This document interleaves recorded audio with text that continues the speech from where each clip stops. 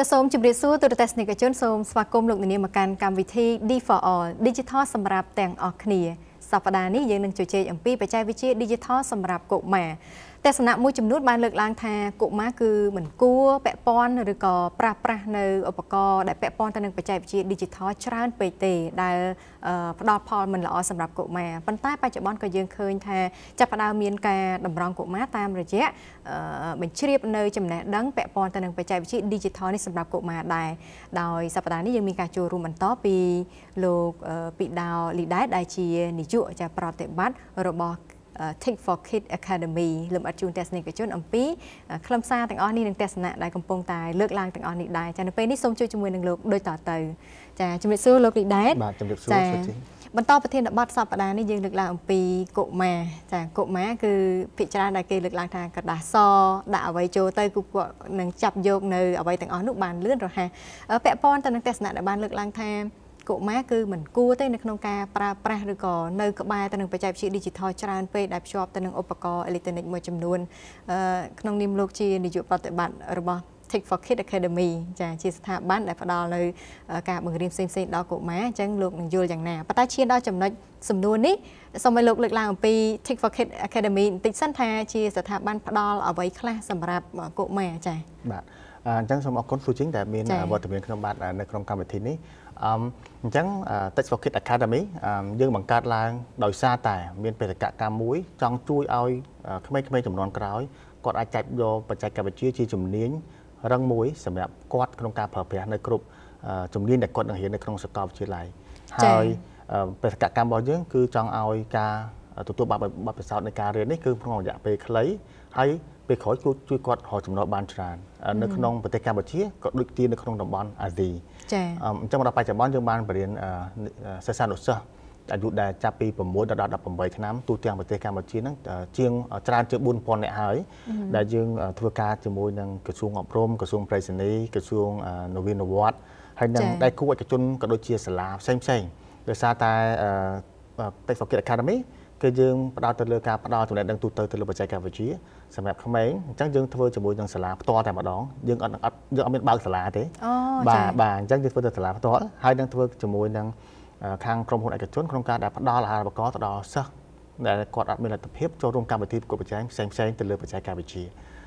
អញ្ចឹងនេះហើយគឺជាបេសកកម្មរបស់ Tech for Kids Academy អឺលំអិនតិចថានៅពេលយើងចូលរួមជាមួយនឹងសាលាទាំងឯកជនឬរដ្ឋស្ថាប័នណាមួយអញ្ចឹងយើងបញ្ជ្រាបជាការបង្រៀនរបៀបមិនខ្លះជាឧទាហរណ៍ចា៎បាទអរគុណអញ្ចឹង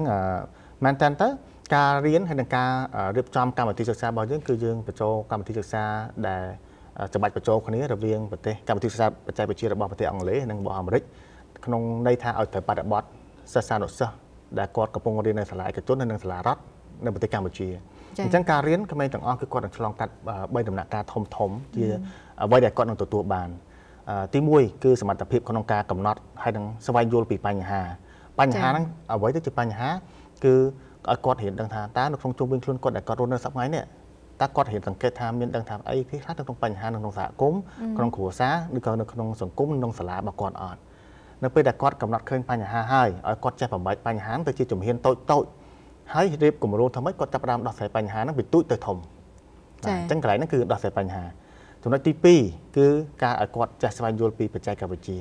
មានថាតើបច្ចេកវិទ្យាហ្នឹងនៅក្នុងសកល មានបច្ចេកវិទ្យាគេខ្លះចា៎ហើយវាមានផលប្រយោជន៍អីគេខ្លះក្នុងការជួយដោះស្រាយបញ្ហារបស់មនុស្សជាតិបន្ទាប់មកបានយើងភ្ជាប់ឲ្យគាត់រៀនបច្ចេកវិទ្យាមួយដែលជាឧទាហរណ៍ឲ្យគាត់យកបច្ចេកវិទ្យាហ្នឹងដោះស្រាយបញ្ហាដែលគាត់បានក្រកឃើញអូចា៎បាទអញ្ចឹង ក្នុងនោះនៅពេលដែលគាត់ចាប់ផ្ដើមបង្កើតឬក៏រៀនអភិវឌ្ឍបច្ចេកវិទ្យាទៅជាដំណោះស្រាយក្នុងការដោះស្រាយបញ្ហាហើយយើងឲ្យគាត់ធ្វើបទបង្ហាញទៅខាងថ្នាក់រៀនរបស់គាត់ទៅកាន់សាលារបស់គាត់ដែលការងារហ្នឹងការងារជាក្រុមហ្នឹងគឺជាការងារដែលបង្កើតបច្ចេកវិទ្យាហ្នឹងគឺជាការងារជាក្រុមអញ្ចឹងទេក្មេងគឺគាត់មានលទ្ធភាពមានឱកាសក្នុងការទី1 បង្កើតការគិតបែបត្រិះរិះពិចារណាទី2ស្វែងយល់ពីសក្តានុពលរបស់បច្ចេកវិទ្យាចាស្វែងរលហើយស្វែងរកបាទបន្តមកទៀតធ្វើការងារជាក្រុមដើម្បីបង្កើតអ្វីមួយដែលគាត់គិតថាជាផលប្រយោជន៍រួមឬក៏ដោះស្រាយនៅក្នុងសង្គមហើយឡើងទៅធ្វើបទបង្ហាញសាធារណៈព្រោះទាំងអស់នេះទោះបីជាគាត់អត់រៀនប៉ុន្តែចុះពេលដែលគាត់រៀនចប់សកលក្តីវិទ្យាល័យក្តីគឺគាត់នឹងប្រឈមដំណើរបែបហ្នឹងហើយក្នុងការធ្វើការជាមួយគេឬក៏គាត់បង្កើតអាជីវកម្មហើយក៏ធ្វើអ្វីមួយដល់ខ្លួនឯង រយៈពេលនៃការសិក្សាយ៉ាងម៉េចដែរថាពួកគាត់សិក្សាពេញឆ្នាំដូចសាលាដូចបានដូចជាការកំណត់ដូចបញ្ញាបត្រជាងប្រហែលឆ្នាំអីយ៉ាងម៉េចដែរចា៎បាទអញ្ចឹងការសិក្សារបស់គាត់ដែលយើងរៀបចំឡើងគឺមានពីរជំរើសជំរើសទី1សម្រាប់សាលាដែលគាត់ចង់យកកម្មវិធីសិក្សាដាក់ទៅក្នុងកម្មវិធីគាត់ផ្ទាល់គឺមានរយៈពេលប្រហែលជា22ទៅ23ម៉ោងដែលគាត់រៀនមួយទឹកប្រហែលជា1ម៉ោង1ម៉ោងកន្លះបាទសម្រាប់សាលាដែលគាត់ដាក់ចូលនៅក្នុងកម្ម វិធីក្រៅម៉ោងគឺអាចនឹងរៀនតិចជាងហ្នឹងបាទហើយក៏នៅក្នុងជាច្រើនគឺនៅសប្តាហ៍ចុងសប្តាហ៍អញ្ចឹងវាអត់ប៉ះពាល់ដល់ម៉ោងសិក្សារបស់គាត់ទេចា៎ចាហេតុអីបានយើងជ្រើសរើសចន្លោះអាយុពី6ឆ្នាំដល់18ឆ្នាំក្នុងការបញ្ជ្រាបនៅបច្ចេកវិទ្យានេះទៅកាន់ពួកគាត់ចាបាទអញ្ចឹងការជ្រើសកំណត់អាយុហ្នឹងដោយសារតែឃើញថាក្មេងៗពេលកើតមកគឺគាត់ចាប់ដើមភ្ជាប់ខ្លួនឯងទៅនឹងបច្ចេកវិទ្យានឹងបាត់ហើយបើយើងអត់ភ្ជាប់ក៏ពុកម្ដាយក៏ភ្ជាប់ឲ្យដែរបាទអញ្ចឹងការកំណត់អាយុរបស់យើងយើងពុះចែក ក្រុមអាយុមានថាអាយុពី6ទៅដល់10ឆ្នាំ10ឆ្នាំទៅដល់14ហើយ15ទៅដល់18អញ្ចឹងពុះក្រុមអាយុជា3នេះគឺដើម្បីយើងកំណត់ធ្វើម៉េចការបញ្ចូលកម្មវិធីសិក្សាទៅឲ្យវាត្រូវការវិវត្តរបស់ស្មារតីនិងបញ្ញារបស់គាត់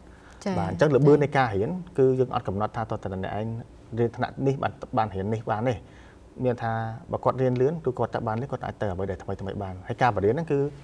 មានតាំងហៅថា software និង hardware ដែលភ្ជាប់ បច្ចេកវិទ្យានៅលើកុំព្យូទ័រជាមួយនឹងអ្វីដែលជាឧបករណ៍នៅខាងក្រៅអញ្ចឹងគឺគាត់មិនមែនរៀនតែមុខកុំព្យូទ័រទេដូចបានលើកឡើងអញ្ចឹងគឺរៀនធ្វើការងារជាក្រុមពិភាក្សាកំណត់បញ្ហាឡើងទៅបបបង្ហាញអញ្ចឹងគាត់ណាជំនាញបច្ចេកវិទ្យាវាជា snow ក្នុងការដែលឲ្យគាត់យល់ចា៎អាយុ6ឆ្នាំទៅបើនៅសាលារដ្ឋគឺចូលថ្នាក់ទី1ចាថ្នាក់ទី1អាយុ7ឆ្នាំប៉ុន្តែអាចក្មេងពេកទេសម្រាប់ ពួកគាត់ដែលចាប់ផ្ដើមលូតលាស់ហើយយើងដាក់បញ្ចូលបច្ចេកវិទ្យាស្របពេលដែលទស្សនៈជាច្រើនគឺខ្ញុំធ្លាប់តែឮតែគាត់លើកឡើងថាមិនគួរឲ្យក្មេងៗនៅភ្ជាប់ជាមួយបច្ចេកវិទ្យាច្រើនពេកចាអញ្ចឹងកន្លែងនេះអាចជាបញ្ហាសម្រាប់គាត់ដែរទេបាទអញ្ចឹងមុននឹងឆ្លើយទៅសំណួររបស់ស៊ូជីងខ្ញុំសូមបកបន្តិចនៃការហៅថាហេតុអីបានគេបង្កើតបច្ចេកវិទ្យានឹងឡើងអូខេចាបាទអញ្ចឹងមែនតើបច្ចេកវិទ្យានៅក្នុងសកលលោករាប់ចាប់ពី Wi-Fi ទៅមុនបាទ បន្ទាប់មកយើងមានអ៊ីនធឺណិតរហូតដល់មាន digital device ដែលមានកុំព្យូទ័រមាន iPhone អីហ្នឹងទាំងអស់ហ្នឹងគឺបង្កើតឡើងក្នុងគោលបំណងមួយសម្រួលទៅដល់ការប្រតិបត្តិតាក់ទងរបស់មនុស្សជាតិទូទាំងពិភពលោកអញ្ចឹងយើងឃើញថារបស់ហ្នឹងគេបង្កើតមកឲ្យដើម្បីជាដំណោះស្រាយដល់ឡែកគ្រាន់តែពេលដែលវាវិវត្តទៅជាអាជីវកម្មឲ្យទៅមានអ្នកខ្លះគាត់ប្រើនៅក្នុងន័យមិនផ្លូវមិនល្អអូចា៎បាទអញ្ចឹងយើងសួរសំណួរបន្ទាប់ទៀតក៏វាដឹងថាមូលហេតុរបស់គេបង្កើតហើយសួរថាតើ បច្ចុប្បន្ននេះឪពុកម្ដាយសាលារៀនដៃគូទាំងអស់ដែលជាអត្តដែលជាថាថាអ្នកនៅក្នុងសង្គមហ្នឹងគាត់មានជំរើសអត់ប្រើអត់គឺអត់មានទេអញ្ចឹងមានថារហងៃនេះដូចលោកទូជាងបានលើកឡើងអញ្ចឹងថាអត់គួរឲ្យប្រើច្រើនអញ្ចឹងមានន័យថាប្រើប៉ុន្តែយើងដឹងថារបៀបប្រើហ្នឹងធ្វើម៉េចឲ្យប្រើត្រឹមត្រូវចា៎ហើយ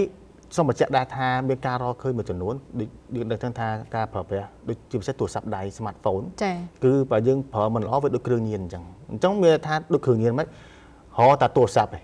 អញ្ចឹងពេលហ្នឹងគឺគ្រូថាឯងមានថាយើងបានឲ្យក្មេងឬក៏បុគ្គលម្នាក់ហ្នឹងគាត់ប្រើពេកដល់ពេលអញ្ចឹងបាទប្រើពេកទៅគាត់ញៀនបាទអត់អត់បានទេអញ្ចឹងចំនួនយើងសួរវិញថាតើបើអត់មានជំរឿក្នុងការមិនឲ្យគាត់ប្រើបច្ចេកវិទ្យាតើធ្វើម៉េចអាចឲ្យគាត់ប្រើនៅក្នុងន័យត្រូវអញ្ចឹង កន្លែងហ្នឹងហើយគឺត្រូវការចូលរួមពីតួអង្គសាលាក៏ខាងការអប់រំហើយនិងតួអង្គឪពុកម្ដាយក្នុងការកំណត់វិន័យកំហិតនៅមេតិកាដែលគាត់ត្រូវមើលឬគឺត្រូវប្រើចា៎បើមិនអញ្ចឹងទេគឺអត់ខុសពីអីដែលយើងឲ្យក្មេង10 20ឆ្នាំមុនយើងឲ្យក្មេងទៅលេងក្រៅតែដល់ពេលយើងអត់ដឹងថាសួរគាត់ថាទៅណាទៅលេងអីអីអីចឹងគាត់ទៅដើរទៅធ្វើប្រព្រឹត្តរឿងមិនល្អចា៎បាទអញ្ចឹងត្រឡប់មកវិញគឺជាការយន្តការដែលយើងថាថា ជំនួយភ្ជាប់តំណតំណងហើយនឹងប្រស័យតាក់តងហើយនឹងស្វែងយល់បន្ថែមក៏ដូចជាហៅចំណុចរួមសម្រាប់ឲ្យការប្រើប្រាស់វាត្រឹមត្រូវចា៎គឺជាជំរឿសចាជាជំរឿសសម្រាប់គាត់ហើយបើគាត់កំពុងរស់នៅក្នុងបច្ចេកវិទ្យាហើយទៅតម្រង់គាត់តាមរយៈ ការបញ្ជ្រាបជាចំណេះដឹងបច្ចេកវិទ្យាឲ្យគាត់បើមានទេពកោសលក៏ចាប់យកទៅបើអត់ក៏ត្រូវប្រើឲ្យបានត្រឹមត្រូវត្រឹមត្រូវចាអឺយើងមើលឃើញថានៅក្នុងប្រទេសកម្ពុជាយើងវិញតើកុមារដែលមានអាណាព្យាបាលគាត់មានបានជំរុញច្រើនទេដើម្បីឲ្យឲ្យកូនកូនរបស់ពួកគាត់អាចនឹងងាកមកចាប់យកនៅបច្ចេកវិទ្យាឬក៏ឪពុកម្ដាយគាត់តម្រង់តាមរយៈការផ្ដល់ចំណេះជំនាញអឺពាក់ព័ន្ធបច្ចេកវិទ្យានេះជាពិសេសគឺខាង Tech for Kids Academy តើមានការចូលរួមច្រើនឬក៏ចាក់អារម្មណ៍ច្រើនទេចា៎ បាទអឺសម្រាប់ការងារដែលយើងបានធ្វើកន្លងមកយើងឃើញមានឪពុកម្ដាយច្រើនដែលគាត់តែតែសួរថាតើកូនគាត់លេងច្រើនអីច្រើននឹងធ្វើមិនអញ្ចឹងក៏យើងបានចែកម្លែកជាគេថាជាការណែនាំមួយចំនួនជូនទៅពួកគាត់ដែរហើយបើយើងមើលជាសន្ទុះភាពធៀបពីឥឡូវរហូតដល់5 6ឆ្នាំមុនយើងឃើញថាសន្ទុះនៃការចាប់អារម្មណ៍ឲ្យក្មេងក៏ដូចជាសិស្សានុសិស្សរៀនបច្ចេកវិទ្យាគឺច្រើនអញ្ចឹងជាចំណុចល្អជាចំណុចវិជ្ជមានសម្រាប់ មិនមែនតែពុកម្ដាយប៉ុន្តែជាសម្រាប់សង្គមជាតិទាំងមូលព្រោះมันអាចប្រទេសមួយចង់អភិវឌ្ឍទៅបានដោយគ្មានទុនធានមនុស្សបច្ចេកវិទ្យាបានទេអញ្ចឹងមានថាសន្ទុះគឺវិជ្ជមានដែរពុកម្ដាយគាត់ចង់ឲ្យរៀនចង់ឲ្យច្រើនដែរតែសួរថាតើប្រមាណភាគរយដែលគាត់យល់ដឹងពីការប្រើប្រាស់ឲ្យត្រឹមត្រូវគឺមិនសូវច្រើនប្រមាណទេព្រោះមែនតើទៅពុកម្ដាយមួយចំនួនបាទបើខ្ញុំនិយាយទៅកុំមានអារម្មណ៍ថាប៉ះពាល់ផ្លូវចិត្តគឺថាគាត់គិតថាគាត់ឲ្យក្មេងកូនគាត់ប្រើទៅគឺដើម្បីកុំឲ្យមករកគាត់អញ្ចឹងគាត់បានឆ្លៀតពេលធ្វើការងារផ្សេងផ្សេងចា៎ក៏ប៉ុន្តែគាត់បានដឹងថានៅពេលណាដែលគាត់ អត់ចង់ឲ្យក្មេងឬក៏កុមារម្នាក់ហ្នឹងមករំខានគាត់ដោយការប្រើឲ្យគាត់ប្រើទូរស័ព្ទហ្នឹងយូរទៅធ្វើឲ្យក្មេងហ្នឹងគាត់ញៀនទូរស័ព្ទដល់អត់ដឹងខ្លួនហើយដល់ពេលញៀនទូរស័ព្ទដឹងខ្លួនគុណសម្បត្តិគុណវិបត្តិអីគេគុណវិបត្តិគឺក្មេងអត់សូវនិយាយពិបាកក្នុងការនិយាយគឺក៏កើតជំងឺមួយគេហៅថា autism ចា៎អញ្ចឹងទាំងអស់នេះយើងឃើញថាវាសិតតែវាមានគេថាគុណសម្បត្តិហើយគុណវិបត្តិដូច្នេះហើយខ្ញុំជឿថាពុកម្ដាយមួយចំនួនគាត់បារម្ភគាត់ចង់ដឹងចង់លឺដូចគ្នាគាត់ណាពេលខ្លះគាត់អត់បានមកដល់ក្រុមការងារយើងទៅក៏ក៏គាត់ ព្យាយាមកំហិតទៅតាមពេលវេលាណាមួយដែលគាត់គិតថាអាចកំហិតបានចា៎បាទតែយ៉ាងណាមិញវាសិតតែរឿងដែលអាចដោះស្រាយហើយបង្កើតទម្លាប់ហើយនឹងវិន័យបានទាំងអស់ទេព្រោះប្រទេសកម្ពុជាយើងមិនមែនជាប្រទេសមុនគេក្នុងការជួបរឿងហ្នឹងទេមានប្រទេសផ្សេងផ្សេងដែលគាត់ធ្លាប់ជួបរឿងហ្នឹងមុនយើងហើយអស់ហើយហើយក៏គាត់បានរៀបចំជាឯកសារឬក៏ជាការណែនាំសម្រាប់ប្រទេសផ្សេងផ្សេងដែលនឹងទៅតាមក្រោយដូចគ្នាចាអញ្ចឹង Take for Kids Academy កន្លងទៅនេះគឺសហការជាមួយនឹងសាលាឯកជនឬក៏រដ្ឋចាស្ថាប័នរដ្ឋមួយចំនួនចុះតើមានមហិច្ឆតាឬក៏បច្ចុប្បន្នមានដែរទេចំពោះសេវាកម្មសម្រាប់ឧទាហរណ៍ដូចជាអាណាព្យាបាលគាត់ចង់បានសេវាកម្មដែរប៉ុន្តែចៃដន្យសាលាដែលគាត់ឲ្យកូនទៅរៀនអត់មាន នៅកញ្ចប់ពាក់ព័ន្ធនឹងអញ្ញថាជាការបណ្ដុះបណ្ដាលបច្ចេកវិទ្យានេះអញ្ចឹងខាងខាង Tech for Kids នេះមានអ្វីដែលជាអាចគាត់ប្រើឬក៏គាត់អាចទាញជា កញ្ចប់សម្រាប់ផ្ទាល់ខ្លួនរបស់គាត់ដែរទេអឺមែនតើទៅយើងមានថ្នាក់រៀនខ្លះតែមិនច្រើនទេដូចជា2ថ្នាក់អីទេពីបន្ទប់អីទេដែលយើងកន្លងមកយើងតែតែផ្សព្វផ្សាយដែរសម្រាប់ឪពុកម្ដាយដែលសាលាកូនគាត់ហ្នឹងគឺអត់ទាន់មានខាតាមេរៀនបច្ចេកវិទ្យាហ្នឹងគឺគាត់អាចចុះឈ្មោះបានគ្រាន់តែជាទូទៅតើគាត់ចុះឈ្មោះរៀនរៀងលឿនបន្តិចព្រោះតែចឹងទេដោយសារបើវាពេញហើយណាមួយយើងអត់មានគោលដៅក្នុងការពង្រីកទេព្រោះយើងចង់ ឲ្យអ្វីដែលយើងបានរៀបចំឡើងកម្មវិធីសិក្សាក៏ដូចជាគ្រូអ្នកគ្រូហ្នឹងគាត់ចូលរួមទៅតាមសាលាដែលគាត់បានបង្កើតហើយសាលាឯកជនអញ្ចឹងណាអញ្ចឹងក៏ដូចជាសាលារដ្ឋបើសិនណាយើងធ្វើកម្មវិធីគម្រោងជាមួយខាងវិស័យរដ្ឋអញ្ចឹងទេមានន័យថាយើងក្រៅពីហ្នឹងទៀតក៏យើងបានរៀបចំកម្មវិធីប្រកួតប្រជែងផ្សេងផ្សេងដើម្បីអាចឲ្យក្មេងគាត់យកកន្លែងហ្នឹងគឺជាកន្លែងបញ្ចេញសមត្ថភាពរបស់គាត់ ចា៎អញ្ចឹងត្រឡប់មកវិញគាត់អាចព្យាយាមមើលលើគេហទំព័ររបស់យើងដែលយើងនឹងបង្កើតថ្មីអាចថាមួយខែពីរខែទៀតយើងនឹងមានបើកថ្នាក់ថ្មីដែរហើយនឹងអាចសាលាបើសិនគាត់ចាប់អារម្មណ៍យើងអាចសួរនាំបានដើម្បីយើងប្រាប់ព័ត៌មានបន្ថែមព្រោះគោលដៅរបស់ពួកយើងថ្ងៃក្រោយមិនថ្ងៃក្រោយតែពីដំបូងមកគឺតែតែចង់ឲ្យបច្ចេកវិទ្យាការសិក្សាបច្ចេកវិទ្យានេះគឺបានសោះសាយទៅទូទាំងប្រទេសហើយនៅក្នុងតំបន់អាស៊ីចាចា ឥឡូវចុងក្រោយនេះមានអ្វីជាសារទេសម្រាប់ពិសេសទាំងកុមារហើយនិងយុវជន ដែលកំពុងតែគាត់ចាប់ផ្ដើមទទួលបានការយល់ដឹងពីបច្ចេកវិទ្យានេះហើយប៉ុន្តែទោះត្រូវមិនតន់ត្រូវក៏ដោយប៉ុន្តែលោកមានអ្វីជាសារដើម្បីអាចឲ្យគាត់បានត្រេះរិះពិចារណាបន្ថែមទៀតទេចា៎បាទអញ្ចឹងខ្ញុំសូមថែមមេដាបេដាមួយទៀតណាចាក៏បានបាទអញ្ចឹងទូនចំពោះទៅដល់យុវជនបាទអញ្ចឹងយុវជនគ្រប់រូបដូចដឹងហើយថាបច្ចេកវិទ្យាគឺវិវត្តអត់ឈប់ឈរ អញ្ចឹងទេគឺការរៀនការសូត្រឥឡូវនេះគឺថាកម្មវិធីសិក្សារៀនទៅលើអនឡាញមានច្រើនណាស់សម្រាប់យុវជនហើយ free ទៀតផងហើយបើអត់ដឹងរហនណាទេអាចសុំសួរក្រុមការងារយើងបានអញ្ចឹងការរៀនហើយនឹងអនុវត្តហ្នឹងគឺសំខាន់បាទបើទោះបីជាបងប្អូនរៀនចប់សកលក្តីរៀនកំពុងរៀនក្តីឬក៏ខ្លួនឯងកំពុងធ្វើខាងក្នុងវិស័យនឹងក្តីបាទអញ្ចឹងទីមួយគឺបង្កើតទម្លាប់រៀនឥតជប់ចោលនិងអនុវត្តហើយនឹងចែកចម្លែកហើយទី2គឺការដែលចូលរួម ទៅក្នុងកម្មវិធីផ្សេងៗដែលគេបានរៀបចំឡើងជាលក្ខណៈប្រកួតប្រជែងព្រោះពេលហ្នឹងហើយទើបយើងដឹងថាតើចំណេះដឹងយើងបទពិសោធន៍យើងនៅតាណាបាទព្រោះកម្មវិធីប្រកួតប្រជែងពាក់ព័ន្ធបច្ចេកវិទ្យាមានច្រើនទាំងនៅក្នុងប្រទេសក៏ដូចជានៅក្នុងតំបន់ចា៎ហើយជូនចំពោះទៅដល់ខាងមេដាបេដាបាទអញ្ចឹងខ្ញុំជឿថាមេដាបេដាគ្រប់រូបបាទកំពុងតែមានបើមានកូនបាទគឺនឹងមិនខុសទេគឺអាចឲ្យកូនគាត់ប្រើប្រាស់ខ្លះតិចឬក៏ច្រើនយ៉ាងណាមិញ គឺគឺលើកទឹកចិត្តកុំឲ្យភ្លេចឲ្យសោះនៅការដែលបង្កើតពេលវេលាមួយតែមានការប្រស័យតាក់ទងគ្នារវាងឪពុកម្ដាយនិង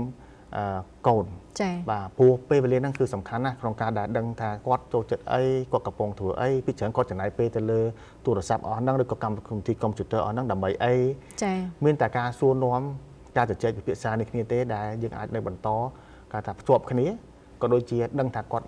កំពុងតែមានការវិវត្ត ទៅខាងណាចា៎ហើយលើពីនឹងទៀតគឺការកំណត់វិន័យដែលខ្ញុំបានលើកឡើងនឹងឯងអញ្ចឹងខ្ញុំដឹងថាពុកម្ដាយមួយមួយគាត់មានការវិធីការវិភាគខុសៗគ្នាកូនខ្លះគាត់រៀនពេញមួយថ្ងៃកូនខ្លះគាត់រៀនកន្លះថ្ងៃអញ្ចឹងចូលទៅរកចំណុចរួមមួយហើយរៀងរឹតបន្តឹងបន្តិចតើតែគាត់រៀងមើលទៅយើងគាត់ថាគាត់ដឹងក្តីគាត់យល់ច្រើនពីខុសត្រូវមានតែការណាល្អមានតែការណាមិនល្អហើយចាំយើងអាចឲ្យគាត់មានភាពថាលក្ខណៈឯករាជ្យភាពទៅចំពោះបងប្អូនដែលមើលបាទកុមារឬក៏បងប្អូនដែលកំពុងមើលបងប្អូនត្រូវចាំថាមិនខ្វល់តែបងប្អូនចូលចិត្តអីទេ ប៉ុន្តែបច្ចេកវិទ្យាគឺជាសង្គមបច្ចុប្បន្នដែលបងកំពុងរស់នៅហើយនឹងជៀសមិនផុតនៅពេលដែលបងចាប់ផ្ដើមរៀនចប់ហើយចេញទៅប្រឡូកនៅក្នុងវិស័យការងារឬក៏បង្កើតអាជីវកម្មខ្លួនឯងអញ្ចឹងទេបងត្រូវចាំថាអ្វីដែលបងគិតថាតែតែចង់បង្កើតឬក៏ចង់ផលិតឡើងដើម្បីធ្វើឡើងដើម្បីជួយដោះស្រាយបញ្ហាណាមួយឬក៏ធ្វើឲ្យសហគមន៍ឬក៏សង្គមជាតិផ្សារឡើង គឺសិតតែអាចប្រើបច្ចេកវិទ្យាបានទាំងអស់ហើយបច្ចេកវិទ្យានឹងទៀតសោតបើយើងអត់មានបទពិសោធន៍ គឺមិនតែងគឺមិនតម្រូវឲ្យបងមានបទពិសោធន៍ទេវាអាចចាប់ផ្ដើមពីចំណុច1 2 3បានដូចគ្នាអញ្ចឹងគឺបងអាចចាប់ផ្ដើមពេលណាក៏បានគឺអត់ដែរហួសពេលទេហើយក៏មិនចាំបាច់ទាល់តែយើងជាសិស្សប្រកែជាអីចាំទៅរៀនណាឲ្យតែយើងមានចំណងចំណូលចិត្តហើយយើងគិតថាយើងចង់ប្រើប្រាស់អលទ្ធភាពគឺយើងអាចសប្តាហ៍ស្រាវជ្រាវហើយស្រាវជ្រាវហើយនឹងស្វែងយល់បន្ថែមបានចាចាអញ្ចឹងបើនិយាយពីឪពុកម្ដាយចំពោះកូនកូនរបស់ពួកគាត់គឺកូនកូន តែលូតលាស់ធំហើយគឺធំហើយมันអាចបកត្រឡប់ទៅក្រោយទេអញ្ចឹងកុមារភាពរបស់គាត់ក៏មានកំណត់ដែរចាអញ្ចឹងចំណាយពេលវេលាជាមួយនឹង កូនកូនរបស់ពួកគាត់ឲ្យបានច្រើនចាជាជាងដែលយើងទុកគាត់ចោលហើយតម្រង់គាត់តាមរយៈកន្លែងដែលអាចផ្ដល់នៅចំណេះដឹងពិតប្រាកដហើយអាចឲ្យគាត់ដើរក្នុងផ្លូវត្រូវមួយល្អដែរចាទស្សនិកជន កម្មវិធីយើងគឺនិយាយពីបច្ចេកវិទ្យា Digital ចាមិនមែននីតិកុមារទេប៉ុន្តែ យើងបាននិយាយអំពីរឿងរបស់កុមារដែលជាទំពាំងស្នងឫស្សីដែលជាភាសាសាមញ្ញដែលយើងលើកឡើងថាជាក្រដាសសដែល ដាក់អ្វីទៅបញ្ចូលអ្វីទៅគឺគាត់ឆាប់ទទួលយកនៅចំណេះទាំងអស់នោះឬក៏រឿងរ៉ាវទាំងអស់នោះដែរ ចាសសូមបញ្ជាក់លោកនាងថានៅពេលនេះគឺជាកិច្ចសម្ភារចារវាងនាងខ្ញុំជាមួយនឹងលោកពីដាលីដាដែលជានាយកប្រតិបត្តិរបស់ Think for Kid Academy ហើយការជជែកគ្នាយើងសូមបញ្ចប់ត្រឹមនឹងដែរហើយអរគុណសម្រាប់ការអញ្ជើញចូលរួមរបស់លោកលីដាចាដែលបានបញ្ជាក់ជូនដល់ទូទស្សនិកជនអំពីបទពិសោធន៍ក៏ដូចជាអំពីកុមារដែលជាចំណុចកន្លឹះក្នុងការចាប់ផ្ដើមរបស់ពួកគាត់នៅក្នុងបច្ចេកវិទ្យា Digital នេះដែរចាអរគុណសម្រាប់ការតាមដានទស្សនារបស់លោកអ្នកនៅក្នុងសប្តាហ៍នេះនាងខ្ញុំស៊ូជីងរួមជាមួយនឹងលោកលីដែតសូមអរគុណនិងសូមជម្រាបលាចា៎